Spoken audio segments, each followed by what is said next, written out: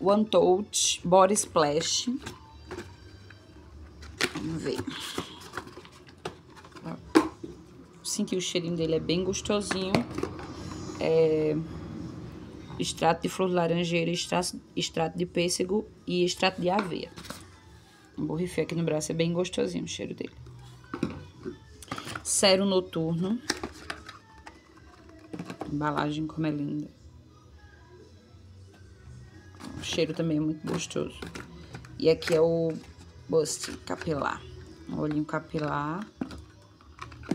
Ó. Muito cheiroso.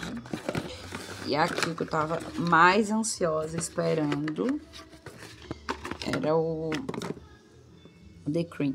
Ó. Muito lindo.